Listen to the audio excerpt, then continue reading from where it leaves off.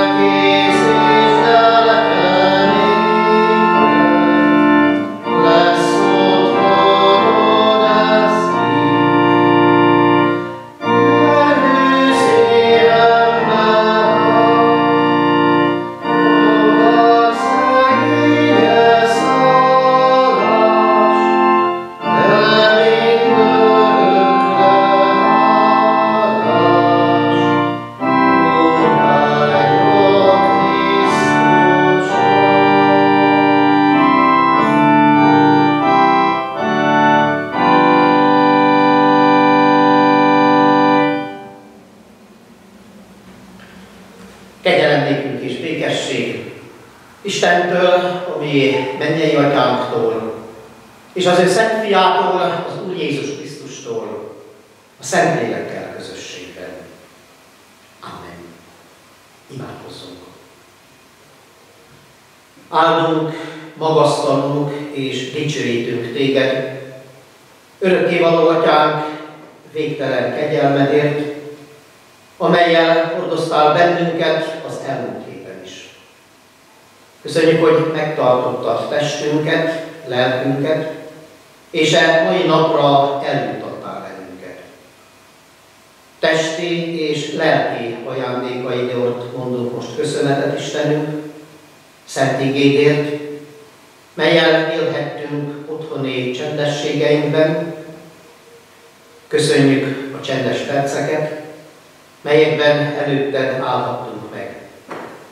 Köszönjük, hogy most igédre figyelhetünk, várhatjuk adventi útmutatásodat, szent szavadat, mely által igazgatott gondolatainkat, cselekedeteinket, adventi útunkat. Kérünk, bocsáss meg bűneinket, melyekkel vétettünk ellened és embertársaink ellen. Egyedül benned reménykedhetünk, tőled várhatjuk a feloldozást, bűneink megkötözöttségéből. Nagy jóságodra méltók nem vagyunk. Rossz útra térve gyakran elhagyunk. Áhítjuk mégis szent igény szavát. Megtérő gyermekét fogad be hát. Amen. Istenek igéje, melynek alapján az ő szent lelkét segítségül hívva szólni kívánok most csendességünkben, áhítatunkban, írva található Zakariás próféta könyve 9. fejezetének 9. versében. Zakariás próféta könyve 9. fejezetének 9. verséből így szól hozzánk örökkévaló Istenünk igéje. Örvendj nagyon Sion leánya, újjon Jeruzsálem. Királyod érkezik hozzá, aki igaz és diadalmas, alázatos és szamáron ül, szamár csikó hát. Adventot ünneplő testvéreim, az adventi evangélium ebben az esztendőben is egyértelműen hirdeti a mi számunkra, jön.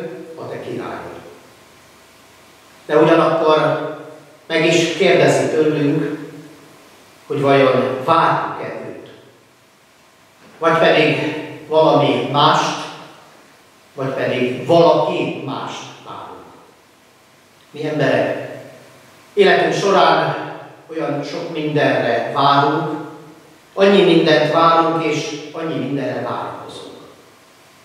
És javarészt olyan dolgokat várunk, amiktől úgy gondoljuk, hogy könnyebb lesz a mi földi életünk, hogy boldogabbak leszünk, hogy örömtelibbek lesznek a mi mindennapjaink.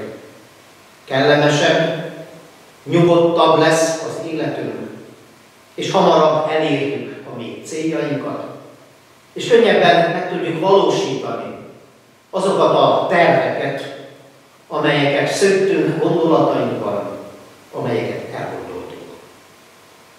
Sokan várják a maguk kis nyugdíját, és reménykednek abban, hogy talán lesz egy kis emelés.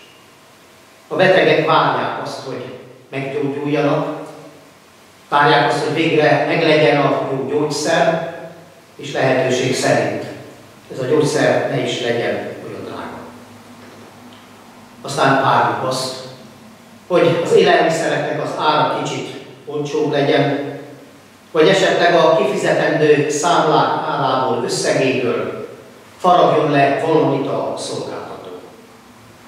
Sokan várják az időjárásnak a változását, várják, hogy ne szűnjön meg több munkahely, és várjuk azt, hogy a gazdasági válság minél hamarabb a végére kerüljön. Sok mindent várnak tehát az emberek. A munkás várja a hétvégét, várja a szünnapot, az, hogy végre kicsit megpihenjen, otthon lehessen, hogy feltöltekezhessen, megerősödjön. Az idősödő ember várja azt, hogy elérkezzen végre a nyugdíjas idő, amikor a munkával eltelt évtizedek után a hűséges és szorgalmas munkájának meg lesz majd a jutalma abban, hogy végre nyugdíjba vonulhat és nyugodtan élheti az életét. A diák várja azt, hogy véget érjen a tanítás, a sohanc várja azt, hogy végre kikerüljön otthonról, a szülői házból, hogy ne legyenek megkötözöttségek, ne legyen a szülői szigor, hogy végre maga szerint tudja élni az ő életét. A barát arra vár, hogy újra találkozhasson barátjával, akit már nagyon régen nem látott. A szerelmes várja azt, hogy minél több időt együtt tudjon tölteni a kedvesével. A gyermekek várják a karácsonyt, és várják mindazt, ami hozzátartozik, ami tartozik arra. Várják a téli szünetet, a havazást, hogy lehessen szánkózni, hógolyózni, hóembert építeni. Várják a karácsonyfát és a sok-sok remélt ajándékot alatta. Várják a finom falatokat, ünnepi ebédet, édességet, süteményt. De nem csak a gyermekek várják a karácsonyt, hanem az idősebbek, a felnőttek is, mert ez az időszak az advent, a karácsonyra való készülődésnek az ideje. Mindenki a maga módja szerint készül, várja az ünnepet. Mindenki tehát várakozó állásponton van. És ebben az esztendőben talán leginkább azt várja az ember, hogy múljon már el végre ez a vírusos idő, Várjuk azt, hogy a járvány elvonuljon felőlünk, hogy meglegyen vakcina, hogy legyen gyógyszer, hogy végre véget vessen az emberiség ennek a gyötrődésnek, ennek a szenvedésnek, amelyet a járvány okozott az ő számára. Hogy fel tudjunk lélegezni a járvány által megterhelt helyzetünkben. Természetes a várakozás, a várakozó állapot, és azt is mondhatjuk, hogy tulajdonképpen jó dolog várni. Jó dolog és kellemes érzés az, amikor az ember vár. Kiváltképpen akkor, hogyha tudjuk azt, és biztosak vagyunk abban, hogy nem hiába várunk, mert akit várunk, meg fog érkezni, hiszen azt ígérte nekünk, hogy bizonyal el fog jönni, meglátogat bennünket, és még ha talán úgy érezzük, hogy késik, hogy várakozni kell, de örömmel és türelemmel várakozunk, mert tudjuk, megígérte és el fog jönni. A felsorolásból jól láthatjuk tehát, hogy mennyi mindent vár az ember, és mennyi mindenre várakozott. De a sok minden között ami sok-sok váradalmunk van, vajon ott van-e Jézus Krisztusnak a várása? Vajon van egy szikrányi is a Jézus iránti várakozásunkból?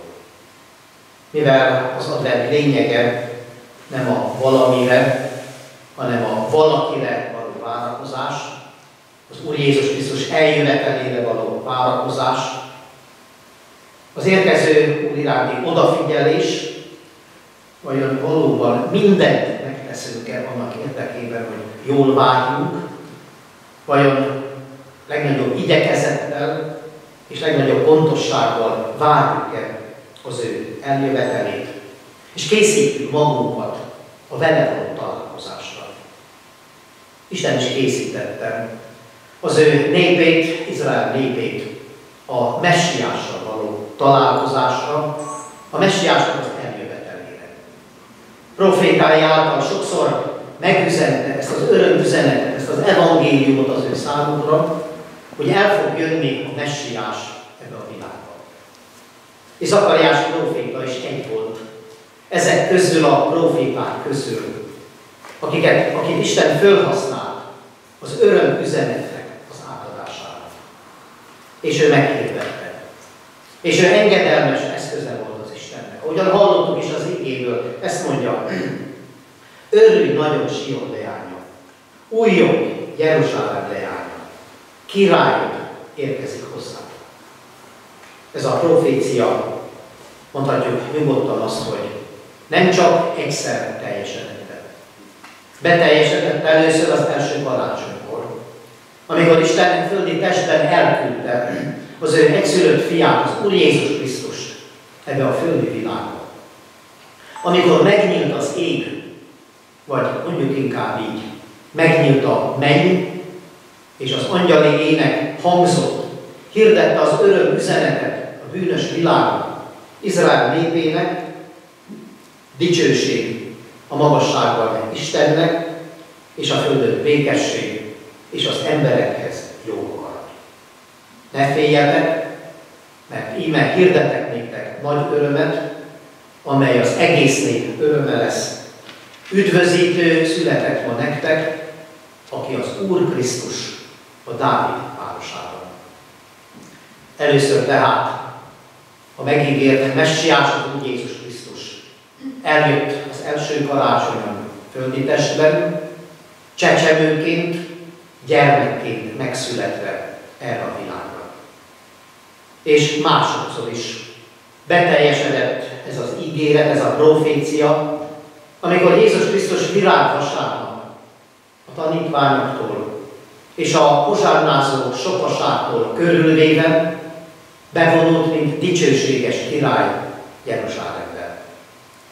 A virágvasárnapi eseményekkel azonban nem zárult le teljesen, és megismételhetetlenül ez a profécia. Olyan értelemben, hogy Jézus azóta is jön. Jézus azóta is felkínálja annak a lehetőségét, hogy találkozzon vele az ember. Kicsik és nagyok, felnőttek és gyermekek, egészségesek és betegek, gazdagok és szegények, mindannyian találkozhatunk vele. Örülhet és örvendezhet teljes szívéből, teljes lelkéből az ember ennek a találkozásnak. De a nagy kérdés az testvéreim, hogy valóban örül mindenki, és örömmel várja mindenki ezt a találkozást. Alig ha.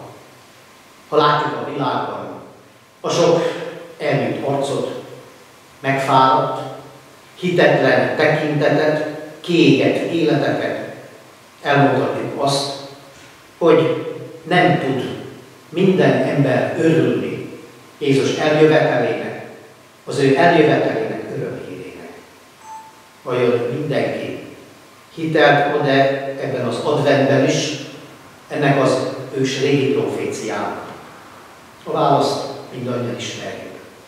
Tudjuk jól, hogy nem mindig és nem mindenki örül, nem mindenki ugyanazon érzéssel és békességgel a szívében várja a közeledő ünnepet. Várja Jézus Krisztus születésének ünnepét. Nem mindenki örömmel vár arra, aki a profécia szerint igaz és szabadító. Ez a megállapítás hogy igaz és szabadító. Egyedül az Úr Jézus Krisztusra vonatkozik, a királyok királyára, arra az Úrra, aki valóban igaz és szabadító, megváltó, üdvözítő. Ebben az igazságban, igazságtalan világban, amelyben mi benne élünk, olyan jó meghallani, és olyan jó megtapasztalni, hogy Isten, ami mennyei atyánk az ő fiában igaz szabadítót, megváltót adott ennek a bűnös világnak. Jézus igaz és szabadító, szabadítója, megváltója betegnek és egészségesnek, szegénynek és gazdagnak, beteg ágyon fekvőnek vagy börtönben lévőnek, vagy éppen koporsó mellett megállva, gyászolva, hitetlennek egyaránt erősítője akar lenni, hitében meg akarja erősíteni. Egy szóval mindenkinek fajra, vallásra, nyelvre és nemzetiségre való tekintet nélkül ő igaz és szabadító. Ez a tudat készített bennünket türelmes várakozásra, ébrenlétre, meg nem alkuvásra, a kapott talentumainkkal való jó gazdálkodásra. De ennek a tudata, ennek tudatának köszönhetően adhatunk hálát ismét az Istennek, ami mennyei atyánknak, hogy ebben az évben is készülhetünk, szívünkben az érkező Úr Jézus Krisztus eljövetelére.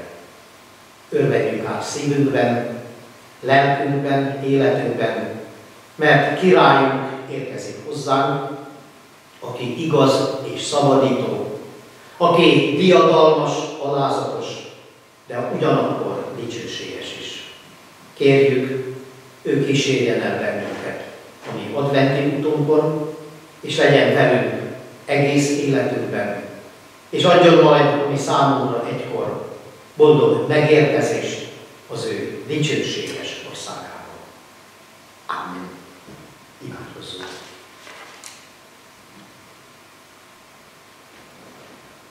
Hálát adunk Istenünk az áhítatos csendért, ami körülvett most minket. Köszönjük ígédet, mely által megszólítottál most bennünket, erősítettél hitünkben, rávilágítottál adventi utunkra, annak helyességére. Emberi gyarló gondolataink miatt sokszor eltévejedünk, meglankadunk, szükségünk van az útmutatásra, hitünk megerősítésére, ezt pedig egyedül csak tőled kaphatjuk meg. Sokféle változás van bennünk, de mindegyik felé emelkedik most a vírustól való megszabadulás vágya, hogy újra felszabadultan tudjunk élni az életünket, hogy újra itt lehessünk együtt a gyülekezeti közösségben, a templomban, hogy magunkhoz ölelhessük rég nem látott szeretteinket, és hogy visszatérjen az életünk a megszokott kerékvágásba. Ezért könyörgünk napról napra, ez jár gondolatainkban, ezt várjuk imádságos lélekkel. Adulunk, hogy ennél a vállalkozásnál sokkal fontosabb legyen mégis, hogy várjuk és jól várjuk sokféle váradalmunk között legyen ott a Krisztus várásunk is, sőt, az legyen fő vállalkozásunk. Várjuk igaz hittel karácsony ünnepét, Krisztus Urunk születésének ünnepét, és az örök adventben élve várjuk az ő visszajövetelét, mely tudjuk ítéletes nap lesz, de hitünk és reménységünk szerint boldog beérkezés az örök. A szentelkednek vezetését mindkét változásunkban. Imádkozunk gyülekezetünkért. Könyörgünk magányosokért, betegekért, gyászolókért, szomorúdó szívűekért, akik a gyász terhét, annak szomorúságát, fájdalmát hordozzák az ő szíveikben, és könnyeket ulajtanak az ő elveszített szeretteik miatt. Urunk, imádkozunk a vezetőkért hazánkban, Magyarországon és az egész világon. Hogy kapjanak bölcsességet, a tudósok felismerést, hogy ellenőrzésük alá tudják vonni a járvány terjedését. Imádkozunk a hivatalos szervekért. Legyenek bölcsek a járvány ellenőrzésében, a védekezésben, tudják a helyi lakosság szükségleteit szabályozni és kielégíteni, és csökkenteni tudják az életüket veszítők számát minden helyen, ahol a koronavírus megjelenik.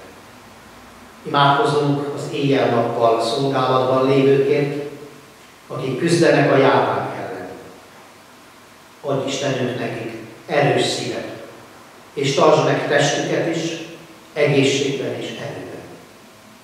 Oltalmazó kezedre bízunk életünket, jövendőnket. Te légy velünk, Istenünk, a napnak további óráival is. Áld meg adventi csendességeinket, őrizz és oltalmaz mindannyiunkat. Szent Fiadért, az Úr Jézus Krisztusért kérünk, hallgass meg a mi imádságunkat. Amen. Mondjuk el mi Úr Jézus Krisztustól tanult imádságot. Mi atyánk, ki vagy a mennyekben, szenteltessék meg a. Jöjjön el a te országod, legyen meg a te akaratod, mint a mennyben, úgy a földön is. Ami mindennapi kenyerünket add meg nékünk ma. És bocsáss meg a mi védkeinket, miképpen mi is megbocsátunk azoknak, akik ellenünk védkeztek. És ne vidd minket kísértésbe, de szabadíts meg minket a gonosztól, mert Tégy az ország, és a hatalom, és a dicsőség, mind örökké. Amen. Az atyának kegyelme, a fiúnak szeretetem és a Szentléleknek közössége legyen és maradjon mindannyiunkkal. Amen. Ahogyan múlt vasárnap is hirdettem már, Pásztor István budapesti lakos, de gyülekezetünknek tagja, 73 éves korában eltávozott ebből a földi világból. Elhunyt a alkalmából testvére, dr. Pásztor Zsuzsanna, Isten dicsőségére százezer forintot adományozott. Isten áldja meg a megszomorodott szívű családot, lelke által nagyon vigasztalódás számukra, hitükben erősítse, bátorítsa őket, hogy a feltámadás, a viszontlátás, az örök élet hitével és reménységével a szívükben tudják járni tovább az ő életüknek útján. Az apostol szava legyen vigasztalódás számukra is, és mindannyiunk számára. Meg vagyok győződve, hogy sem halál, sem élet, sem angyalok, sem fejedelmek, sem jelenvalók, sem eljövendők, sem hatalmak, sem magasság, sem mélység, sem semmiféle más teremtmény nem választhat el minket az Isten szeretetétől, amely megjelent Jézus Krisztusban, a mi Úrunkban. Istenünk őrizzen és oltalmazzon bennünket e nehéz időszakban, kegyelmét árassza ki reál gazdagon, hogy naponként megújulhassunk és erőt meríthessünk feladataink végzéséhez, szolgálataink betöltéséhez. Isten áldása legyen rajtunk, advent második vasárnapján, és az egész előttünk álló héten. Áldást, békességet a testvéreknek. Befejezésül a 464. énekünket énekeljük. 464. dicséretünknek mind a hat versét. Jöjj, királyom, Jézusom, szívem